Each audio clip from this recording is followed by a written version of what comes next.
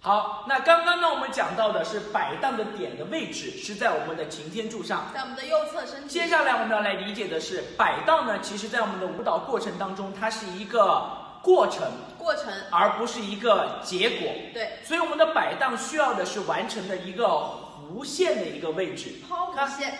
完成了这个弧线了以后，所产生的这个形态，我们称之为叫做倾斜。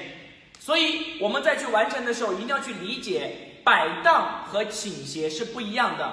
摆荡是一个过程，它是一个弧线，然后最后弧线完成以后的这个形态，我们称之为倾斜。摆荡是过程，然后倾斜是结果。为什么我们要强调这一点呢？因为我们很多时候在去完成摆荡的时候，我们没有去做摆荡。而是直接去做的结果就是倾斜，所以我在这里做一个不太好的摆荡，大家可以很清楚我们摆荡的时候没有去完成一个弧线的一个过程，这个叫摆荡，而是直接，这个叫倾斜，直接倾斜，倾斜。所以很多同学跳舞弯就倾斜，直接去完成一个倾斜了。就是大家都知道，我们是摆荡，先有摆荡。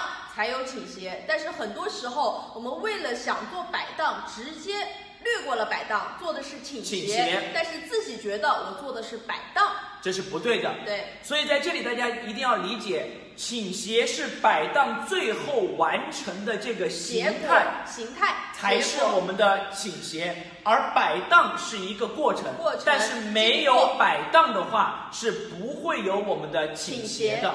所以我跳男生的 natural turn，大家可以理解一下。看，我们做完预备步了以后，好，这里都是没有的。好，我们要完成摆荡，摆荡，再是倾，最后的高低叫做倾斜。好，女生也是一样。好，这里是没有的，这里是没有的。看，完成摆荡，摆荡，最后的结果才是高低叫做倾斜。所以我们要理解的是，不要在还没有去做摆荡的时候，对，就去做我们的倾斜。那这样看起来呢，我们的舞蹈就会特别的突兀，而缺少了一个弧线的感觉。所以大家一定要理解什么是摆荡，什么是倾斜。那现在呢，我跟苏老师来完成一个 natural turn 的感觉，大家可以来体会一下。好，预备步完成，我们是通过摆荡、倾斜，thank you。好的，所以大家能够感觉到吗？是摆荡，摆荡过程到了这个最高点，形成高低了以后，然后这个动作才是有倾斜，叫做倾斜。所以大家一定要记住，摆荡是一个过程，倾斜是一个形态的结果。